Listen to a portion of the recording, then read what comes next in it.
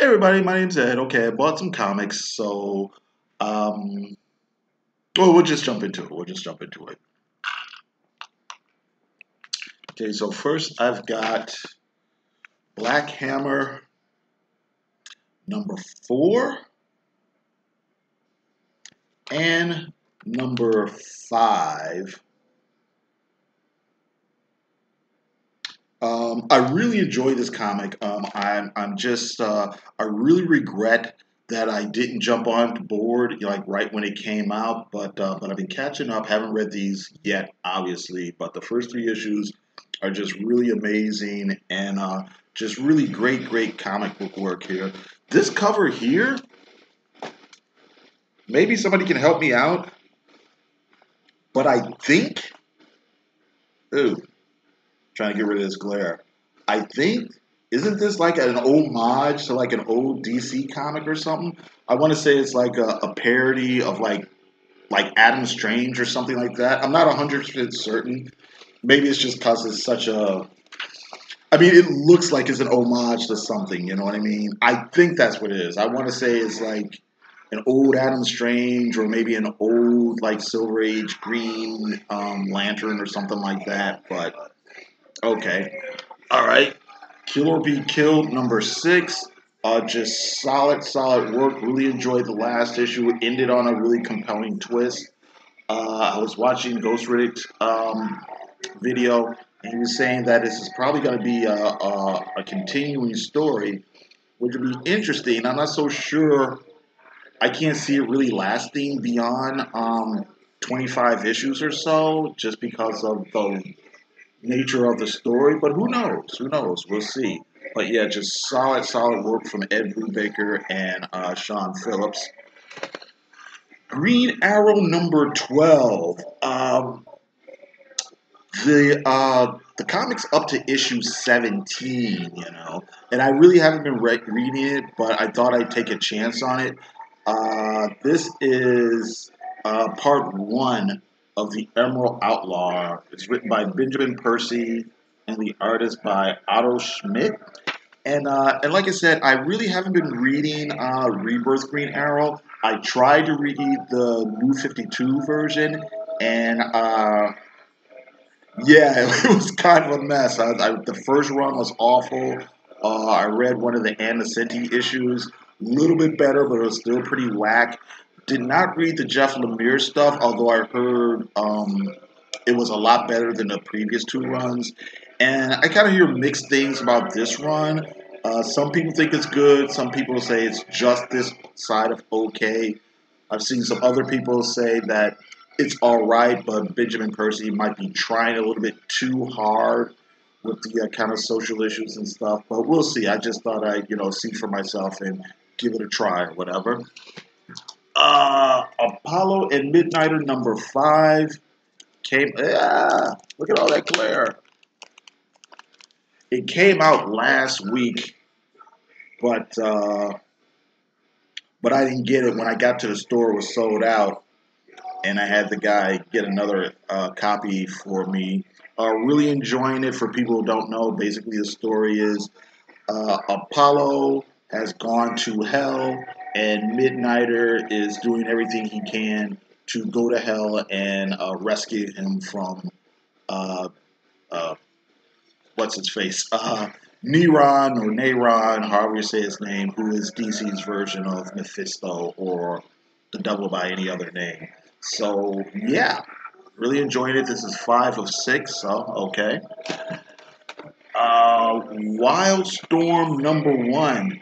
Uh, really looking forward to reading this. This is Warren Ellis's sort of reinterpretation of all the old Wildstorm characters, Wildcats, and uh, uh, the Authority. And this, I believe, is actually set on, um, it's in its own continuity, so it's kind of a parallel world or whatever. So it really doesn't uh, affect the kind of New 52 rebirth versions of these characters. So that actually makes it even more intriguing for me because he can kind of go off into whatever um, you know direction he wants to. So, but yeah, really looking forward to reading this. Uh, Am- Odyssey of the Amazons number two is a Wonder Woman spinoff.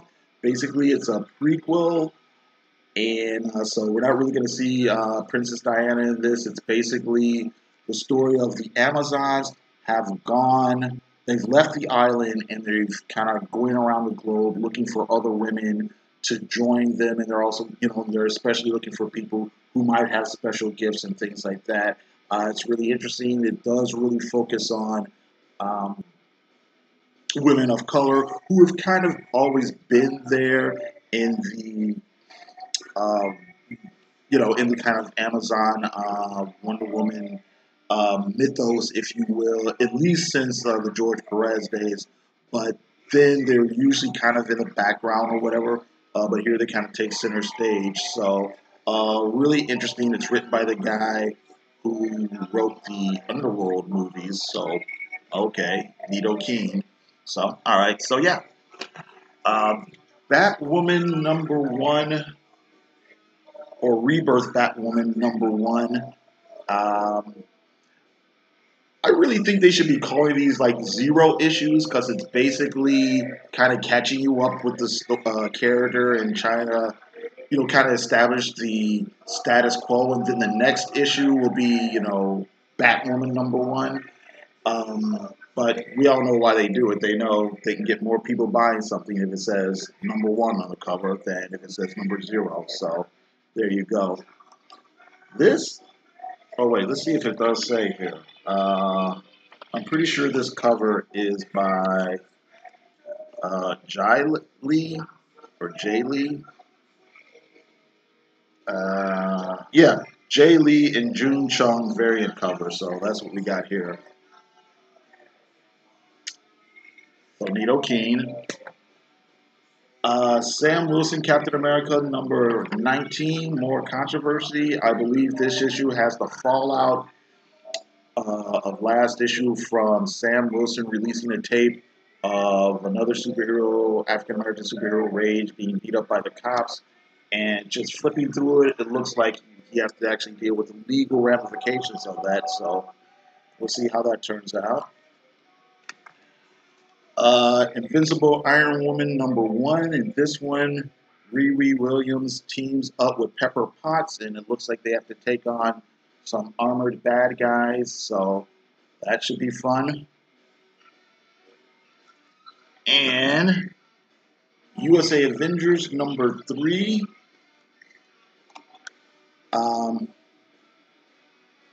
dealing with the Golden Skull.